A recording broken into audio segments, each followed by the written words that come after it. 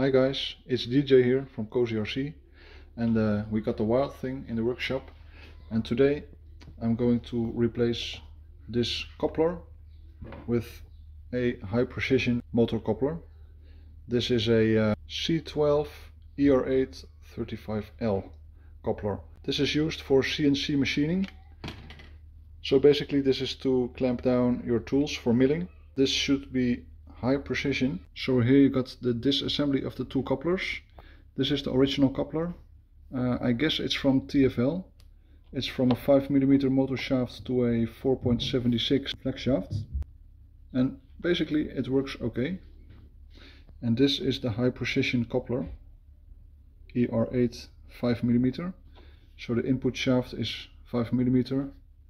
And um, the output is also 5 mm in this case, but you can tighten the 4.76 mm flex shaft without any problem. From uh, another hobbyist, I got the advice to try out this coupler.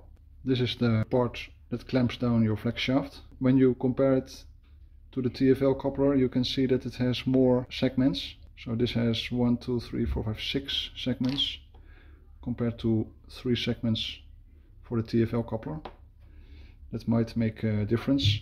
And I think the overall machining and quality of this coupler is just uh, better. I'm going to install it because I got the feeling that this coupler is vibrating slightly and I'm running a quite a high RPM setup. So even when it is vibrating just a little bit due to the high RPM it's still a strain on the drive.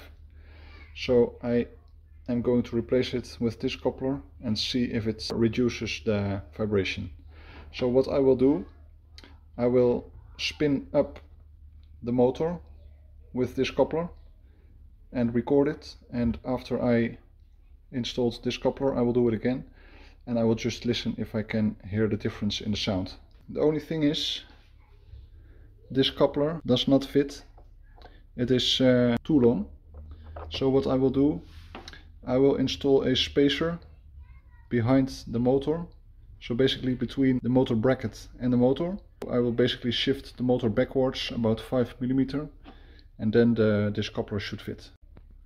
Okay, I got the battery hooked up and I will give some throttle with the original coupler.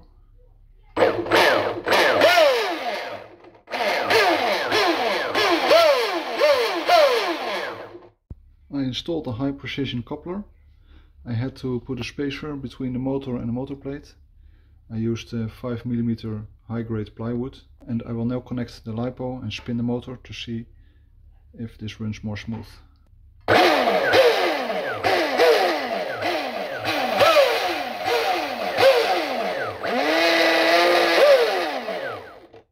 Just listening to the sound, I don't really hear a difference between this high precision coupler and the, the original coupler.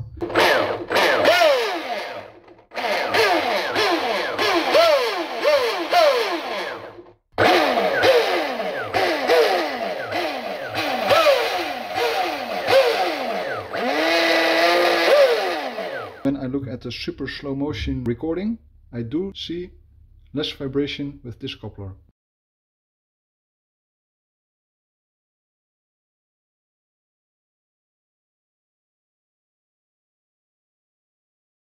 So let's find out next time when I take out the bolt if I can notice the difference.